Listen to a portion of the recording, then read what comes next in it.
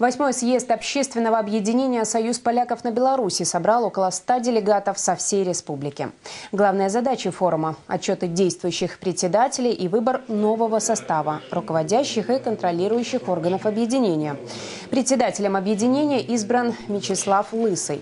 Сегодня «Союз поляков» – одна из самых массовых культурно-просветительских организаций. Ее история насчитывает более 20 лет. И сейчас в таком этническом союзе около 70 областных и районных отделов – а также 7 тысяч человек.